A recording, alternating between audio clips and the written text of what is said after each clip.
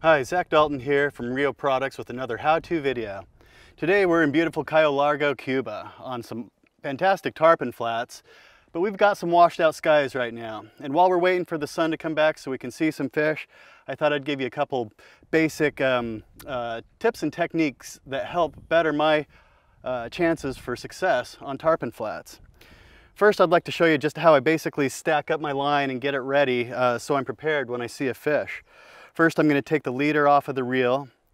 I'm going to back the drag off a little bit and I'm going to peel off about what I think is the maximum amount of line that I can effectively fish here. Typically I'm working with about 70 to 85 feet of fly line and I'll shorten that up or lengthen it out depending on the conditions. I've stripped off about 70 or 80 there. And I'm gonna reset my drag, make sure that I've got it a good resistance, enough resistance that it's uh, gonna be, I'm gonna confidently fight a tarpon if I hook one.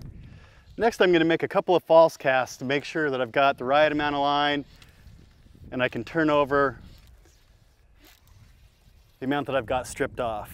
I didn't cast all that out there, so I'm just gonna shorten that up so I don't introduce any twist into the fly line because I'm not shooting all of it on a cast.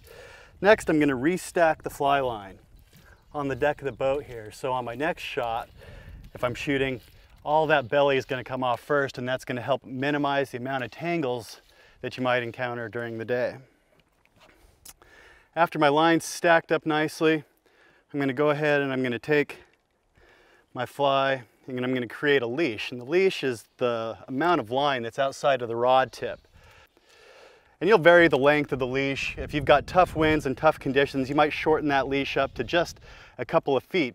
Um, or if you've got bad skies like we have and we're not going to see fish close up, we're going to have a short cast. I just want to be able to turn it over right there and hopefully get a strip. When we've got bright sun and we've got white sands and we've got more line to work with, I'm going to work with a longer leash. I'm going to get about upwards of 9 or 10 feet of fly line outside the rod tip.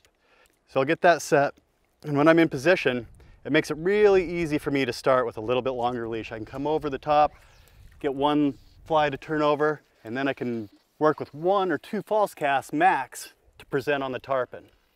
One of the most important things to pay attention to in tarpon fishing is line management and holding onto your fly line when you make a shooting cast.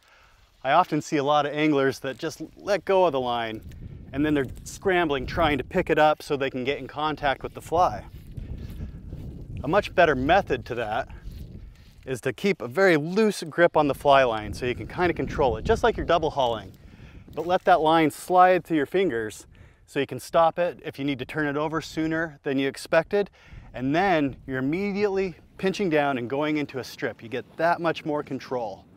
Make sure you pay attention to the fly line and keeping nice and connected.